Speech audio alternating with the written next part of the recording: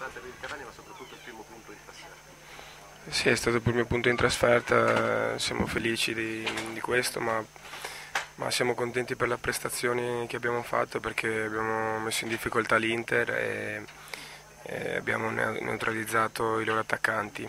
Adesso dobbiamo pensare alla partita di domenica che sarà fondamentale, quindi dobbiamo prepararci bene. E dal punto di vista personale non sei stato impegnato tantissimo, ma quando sei stato chiamato in causa sei stato assolutamente decisivo. Secondo te, considerato l'Inter di quest'oggi, si poteva anche fare qualcosa in più?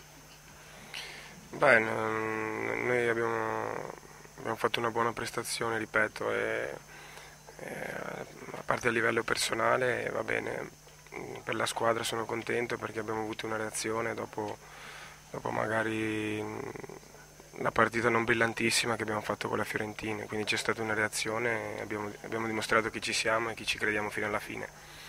Per il proseguo della stagione che valore ha questo punto Milano? Ah, sicuramente un punto importante perché venire in, in un campo così difficile e fare il risultato sicuramente significa che, che il gruppo c'è e che, e che ci siamo e che ci crediamo fino alla fine. Senti, ci dici qual è il clima all'interno dello spogliatoio e soprattutto cosa vi ha detto Maran alla fine della gara?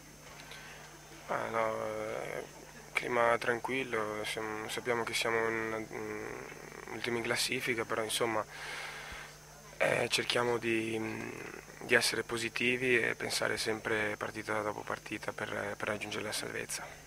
Domenica il Livorno in quello che sicuramente a questo punto diventa uno scontro decisivo. Sì, uno scontro decisivo, lo sappiamo e dobbiamo, dobbiamo giocare col cuore, sicuramente il nostro pubblico ci aiuterà e quindi dobbiamo, dobbiamo dare il massimo. E tu che guardi la partita naturalmente dalla porta dove la visione probabilmente del campo è più completa. Questo 3-5-2 a tuo giudizio garantisce più copertura e un modulo attraverso il quale il Catania riesce ad esprimersi meglio rispetto al 4-3-3 o insomma dipende dalle partite che si vanno ad affrontare? Ma dipende dalle partite che si vanno a affrontare, ma poi il modulo eh, cioè lo decide il mister, eh, noi dobbiamo andare in campo e ascoltare quello che ci dice e poi dare, dare il massimo, poi eh, che si giochi in un modo o nell'altro dobbiamo essere sempre a sua disposizione.